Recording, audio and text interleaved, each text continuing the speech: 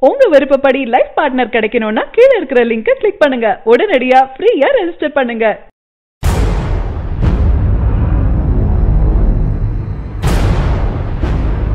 அஜித்தின் விஸ்வாசம் படத்திற்கு அவரின் ரசிகர்கள் அமோக வரவேற்பு கொடுத்துட்டு வராங்க.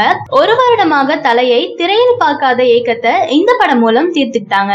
படம் பார்த்தவர்கள் அனைவருக்கும் கண்ணீர் வரவழைச்சிருக்காரு இயக்குனர் சிவா. இதுவே அவரின் கடின உழைப்பிற்கான வெற்றி என்று கூட கூறலாம். சமீப நாட்களாக படத்தின் தமிழ்நாட்டு வசூல் நூத்தி இருபத்தி ஐந்து கோடி என்ற பேச்சுதான் அதிகமா இருக்கு. சமூக வலைதள பக்கம் சென்றாலே தற்போது விஸ்வாசம் படம் பற்றிய வசூல் விமர்சனங்கள் தான் அதிகம் இருக்கு.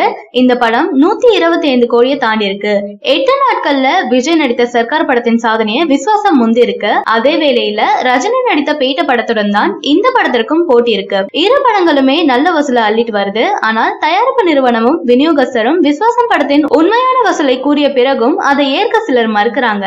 அஜித் பேட்டிகள் எல்லாம் இப்போது கொடுக்கறது இல்ல ஆனால் இதற்கு முன் அவர் கொடுத்த பேட்டிகளை கவனித்தால் முதலில் அவர் சொல்வது எல்லோரும் குடும்பத்தை கவனிக்க வேண்டும் என்பதுதான். அதை எப்போதுமே தன்னுடைய படங்களில் கூறிட்டு வராரு. இப்போது அவர் நடிப்புல வெளியாகியுள்ள விஸ்வசம் படம் குடும்ப மக்கள் கொண்டாடும் படமா அமைஞ்சிருக்கு. எல்லாரும் இது போல் ஒரு படம் பார்த்து நீண்ட வருடம் ஆகிவிட்டதுன்னு சொல்றாங்க. படமும் பாக்ஸ் ஆபீஸ்ல பட்டைய கிளப்பிட்டு வருது. அதிலும் கிராம பகுதிகளில் படத்திற்கு நல்ல வரவேற்பும் கிடைச்சிருக்கு. படம் வெளியான ஒன்பது நாளில் கூட மூணு ஷோக்கள் முடிந்து நாலாவது ஷோவும் ஹவுஸ்ஃபுல்லாக டிக்கெட் புக்கிங் நடக்குதா?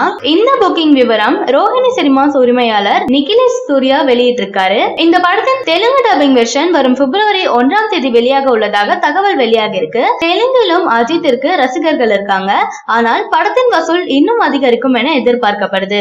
இதே விஷயத்த ஒரு பேட்டியில் கலந்து கொண்ட இயக்குனர் சிவாவிடம் கேட்டபோது ஒரு முக்கியமான விஷயம் என்னன்னா டெக்னீஷியன் வியாபாரத்தின் விவரத்திற்குள் போய்விட்டால் அவருடைய கிரியேட்டிவிட்டி பாதிக்கப்படும் அதே போல ரசிகர்களும் வியாபாரத்தின் விவரத்திற்குள் போய்விட்டால் அவர்களுடைய ரசிப்புத்தன்மை பாதிக்கப்படும். அந்த இடத்திற்கு போகக்கூடாது என்பதே எனது எண்ணம் என கூறியிருக்காரு.